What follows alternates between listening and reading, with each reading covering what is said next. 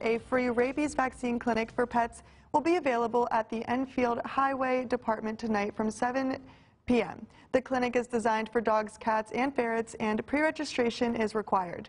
Details on how you can register are available on my, our website, mytwintiers.com.